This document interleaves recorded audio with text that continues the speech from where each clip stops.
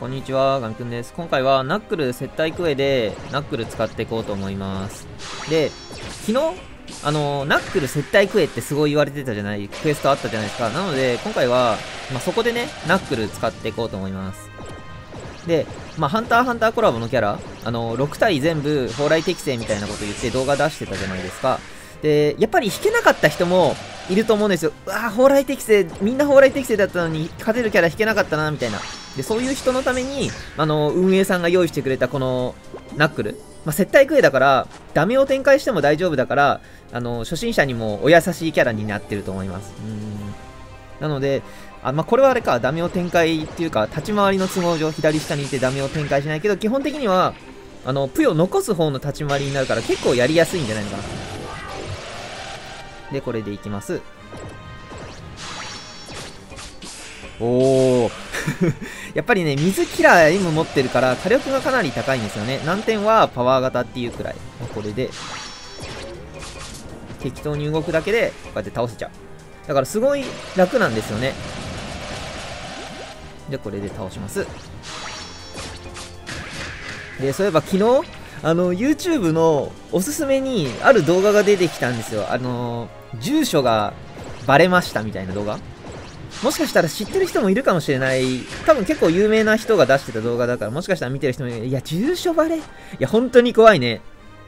で、いや、だからね、ちょっと気をつけなきゃいけないんですよね、住所バレってすごい、やってる人にとってはこういう動画投稿とか、まあ Twitter とかでも有名な人とかいるし、やっぱそういうのでね、バレちゃうと、やっぱちょっといろいろ問題とかありがちじゃないですか。なんか、なんだろう、泥棒入ったりとか。うーんと。これで倒します。まあ、やっぱ水キラー M 持ってるからすごい火力が高いんですよね。で、こうやって倒せます。で、SS? で、SS が確か、なんだったっけ？まあみんなわかるでしょ？出さなくても。うーん、まあ普通に倒すとか。ただ、ちょっと過信は禁物やっぱりちょっと一手ではおそらく倒せなさそうだから、その辺はちょっと気をつけていかないといけない。で、やっぱ住所バレ本当に怖いね。いつか住所バレたらと思うとすごいドキドキする。で、やっぱなんか、あのー、背景背景というか、あの、気をつけてるつもりでも、あのー、なんか瞳？瞳に反射で映る背景とかそういうのから、なんか調べて、景色を調べて、なんかその、ここに住んでるんだねみたいなことやる人もいるじゃないですか。そういうすごい人がいるから、やっぱりちょっとね、あのー、すごい怖いよね。実写で出してると。うーん。で、これは？あ、これはこのまま入れるか。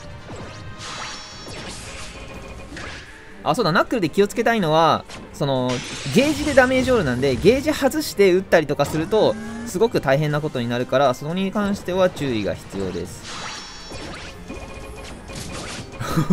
強い。一殴りの火力が頭おかしいな。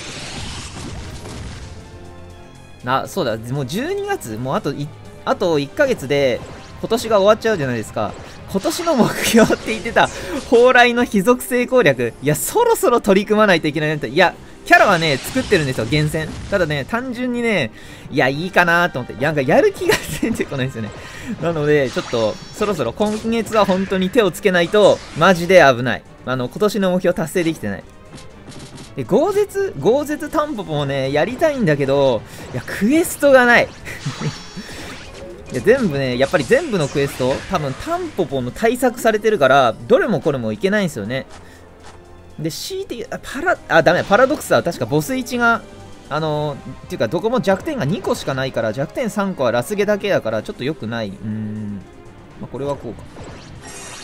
あ、これこれこれ。これを ダメを展開中にやっちゃうと大変だから、あの、気をつけないといけないです。であと HP も少ないからね、9万2000しかない。いつもだいたい艦隊でやってる時って12、3万くらいは準備してるんですけど、まあ、今回は9万しかないから、あんまりちょっと遊んでられない。おお こんな初めて見たな。いや、これはね、ナックルの強いとこ。うーんと、そろそろあれか、配置も考えないといけないのか。えっと、いや、これどう、あれかな、こうやって、うーん、こういて、そろそろ配置も考えていかないといけないしな。とりあえず、まあ、下付近に配置しておいて、ちょっと立ち回っていこうか。これでこう入ります。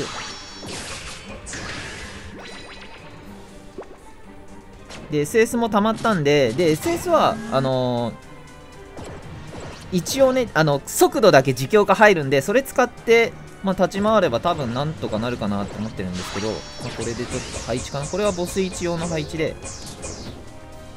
OKOK これなら多分ループヒットの位置についてると思う。なのでこれでちょっと調整したんであとはあのー、初手になるようにターン調整してやっていけばいいかな。まこれがちょっと削るだけ？多分多分ねはは？ちょっと、ちょっとおかしいでしょいや、この火力おかしい。いや、ちょっと待って、これは、これそうだよ。ほら、ループヒットの位置についてるんですよ。やばい、どうしようかな。うーん。うーんと。いや、どうしようかな。これ予想外だったな。えー、っと。うーん。これで倒す？これで倒しても、でも時間稼いでもあんまり意味ないんだよな。あ、でもあれか。一応これで、これでとりあえず倒しておいて、これで倒します。で、こうするとダメオが展開されるから、これで火力を上げて、あのー、SS も速度、速度強化いるかな？いや、多分これで横間でこれやって耐えるから、それでループヒットして、ちょっと削ろうか。で、これ耐えます。オッケーオッケー。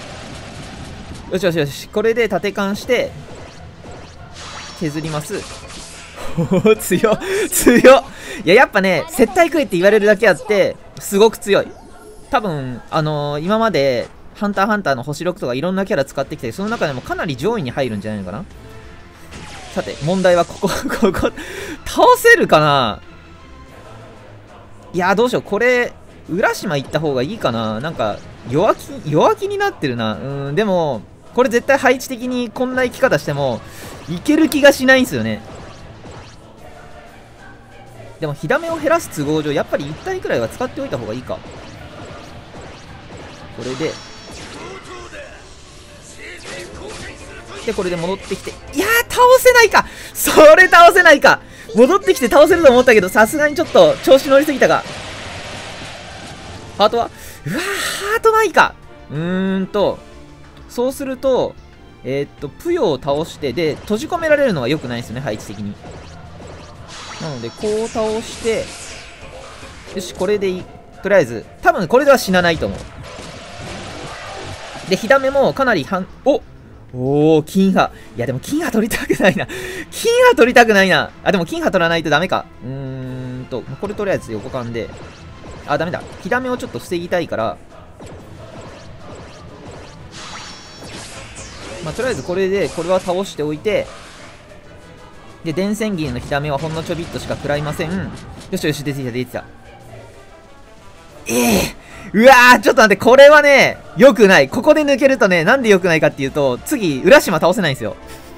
いや、これ金波取る、まあ、金波、まあいいでしょう。いや、本当だったら多分ここ大波か小波だけど、まあ、そ、何出ても耐えてるから。何出ても多分耐えてるから、まあ、大丈夫。えー、えー、そんな接待しなくていいよ。いらないよ。